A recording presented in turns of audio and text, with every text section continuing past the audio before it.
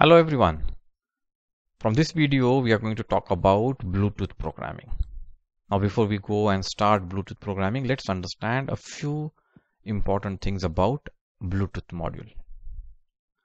Just like when you want to call your friend you dial number on your phone and then from your phone a link is connected to the nearest tower. From that tower it goes to the next tower which is nearest to the friend's number and from that tower the link goes to your friend's number and then the mobile phone or your friend starts ringing. And then when he accepts the phone call a link is established between your phone and your friend's phone. And that link is specifically between your phone and your friend's phone so that nobody else can listen to what you are talking now similar way when we want to connect Bluetooth to Arduino, first we need to establish a link between your Arduino and the Bluetooth. Once that link is established, we can have a communication between the Bluetooth and the Arduino. To establish that link in Arduino, we have a command called serial begin. Now serial begin, we had seen this command when we spoke about serial monitor. It establishes the communication between a device and Arduino to communicate in a serial mode. This command also decides the rate of communication. Using this number here, we decide the rate of communication. In this case, we are talking about 9600 bits per minute. This is also called baud rate. You can know the baud rate for the device in use by looking at the data sheet of the manufacturer. Generally, we see that we can work with 9600 baud rate. Sometimes we also use 1,15,200 as the baud rate. For our kit, we are going to use 9600 as the baud rate. Now, once we establish this communication, then we start talking. Now in case of Bluetooth, there is an interesting thing in between.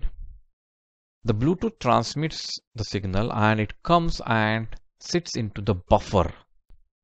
So it's in the Bluetooth buffer. And not what we do is we want to act on those commands which we have received from Bluetooth.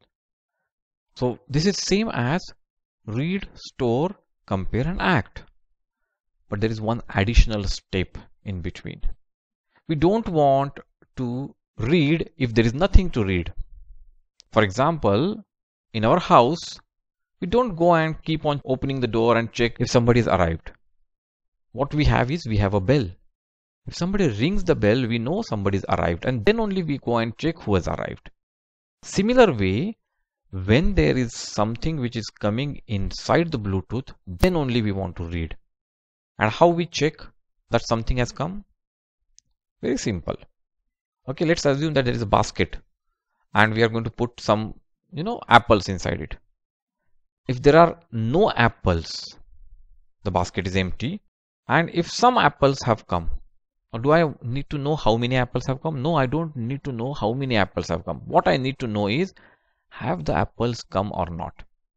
Same way I want to know in the buffer is there any code which has arrived in the buffer or not and we do that using the command bluetooth available bytes. When the buffer is empty how many bytes are available? Zero. And when buffer has something how many bytes are available? Maybe one two three four we don't know. But definitely greater than zero. And so we do a check. If we use compare block greater than if Bluetooth available bytes greater than 0. That means there are some bytes waiting there. And only when the Bluetooth available bytes are greater than 0, we want to start reading. And for reading, we use command Bluetooth read. Now this command or this block is a curious mind block which combines two actions together our actions of read and store. Both the actions are combined in this one block. So when we use this block, it reads the character and it puts them in a variable. It creates the variable automatically. It creates a variable named as bchar and puts that value which we have read into that variable. Okay, so if I connect this to the event block, in this case Qurious Mind, you can see, you observe here, we have done serial begin, we have started if serial available is greater than 0. What happens? We want to read. And you see here automatically it has created a variable called bchar and it has stored whatever is the serial read it has stored into the bchar bchar equal to serial read so it has performed both the actions read and store. Now read done store done. What we need? Compare and act. For that we can use if then or if then else. Now to compare and act we also have a special block here. That is the bluetooth read car. this block performs the comparison. With this block, we don't need any comparison operator because this block itself is an equality comparison operator. So if you see here, if I put this and I add this here, it gives bchar equal to 70. So this character f is compared as a numerical value. Character f has a numerical value of 70. Where does this 70 come from? it is the ASCII code ASCII ASCII code of character F that we compare and we take action. Now we know we want to perform these actions continuously so we put a forever here and that is our Bluetooth program. Now we need to see the similarities between the Bluetooth program and the sensor program. What we are doing is we are doing read and store we have to put this inside here yes we are doing read and store and the stored value we are comparing and we are acting. Now this one command is doing both read and store. This one command is comparing and we will put action here. Now what is extra? Extra is this if. That we are doing the reading and storing action only if there is something to read. So our RSCA starts when we see in our buffer that there is something to read. And only that time the RSCA will start. That's the only small difference between the sensor program and Bluetooth program. Rest all steps are same. Now there are a few more things we need to understand about Bluetooth.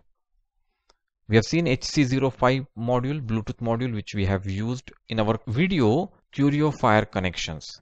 We see how to connect the Bluetooth HC05 module to our CurioFire board. If you have not watched that video, please watch the video and you will understand how to connect our HC05 module to the CurioFire board. It has four pins, receiver, transmitter, ground and 5 volt. The remaining two pins of HC05 module which are state and enable we do not use. One thing which we need to understand is the Bluetooth communicates with our Arduino over the serial pins 1 and 0. And we know that serial pins 1 and 0 are used to upload the program onto Arduino. So when we are using Bluetooth, we want to upload the program, we must disconnect the Bluetooth from CurioFire board, upload the program and then connect the Bluetooth. Otherwise, the computer will try to upload the program into the Bluetooth instead of Arduino because the 1 and 0 pins are connected to transmit and receive of Bluetooth. And so there will be confusion and your program upload will fail. To avoid that, before uploading the program, you need to disconnect you need to remove the Bluetooth module from CurioFire board upload the program and then put the module again before you start in our next video we will create one program for switching on and switching off of LED using Bluetooth for that we will have one app through the Android app we are going to send the commands which will be received by Bluetooth and it will switch on or switch off the LED.